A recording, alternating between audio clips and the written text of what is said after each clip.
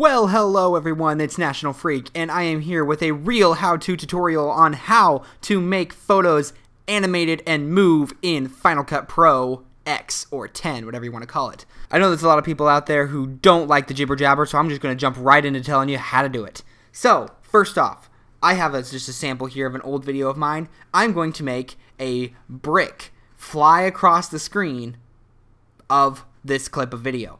So what you're going to need is a picture of a brick and you're going to want to find one online, draw one yourself, whatever you want to do. Hopefully it is transparent background so it is easy to throw around and move around without backgrounds blocking your way.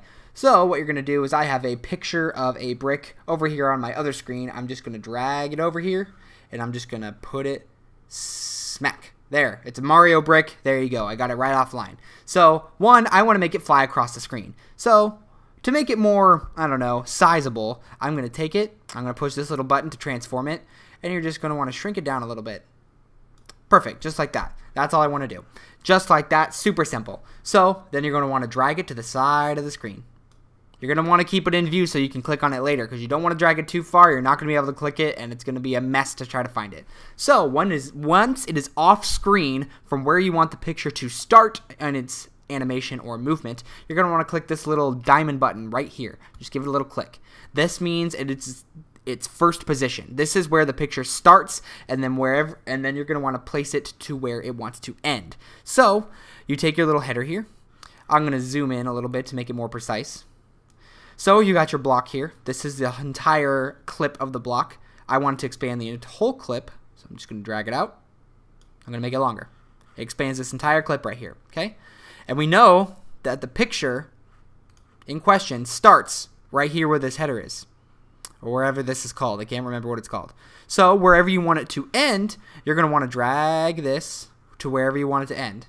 So I want it to end right here at the very end of the clip.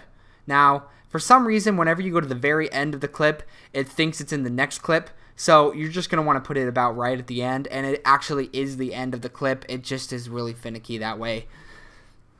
So what you're going to want to do is you're going to want to take this, now that the header is over here, you're going to want to take your picture and you're going to want to drag it right across the screen. And that red line means it's that is its pathway.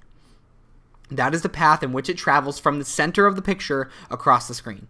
So now it's there. You click done, and that is that. And now we watch. There's not going to be any audio, so it doesn't distract you.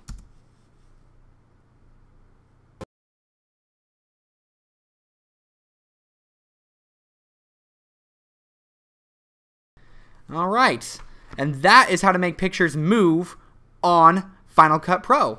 And there are a lot of other things you can do with this. There's also ways to make it bend or you can move the entire line. Whenever you move it to right here, you can click again, and then you can warp it to go up and down. I will show more of this in depth next time, but that is basically the in-depth, the basic way to make pictures move from one point to another point in Final Cut Pro. I know I was wondering how to do that for the longest time, and now I am showing you how to do it. Well, thanks for watching, everyone, and like I said just a second ago, if you do want to see more, please shoot me a message or comment down below telling me what do you want to see me teach you in Final Cut Pro. Thanks, have a great day, namaste. Thank you all so much for watching, and I wanted to give a much deserved shout out to Jaden Faith, who is actually my soon to be sister in law, who was my very first Patreon of $1, so she is able to get all of my videos a day early.